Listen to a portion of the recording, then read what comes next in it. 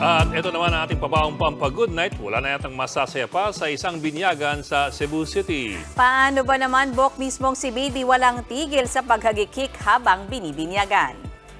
Pray for us. Pray for us. Tawa ng tawa ang apat na buwang gulang ni Cyril Gray habang nagsasalita ang pare. Nahawa naman ng good vibes si ni Baby, ni Baby pati si Father at ang mga ninong at ninang.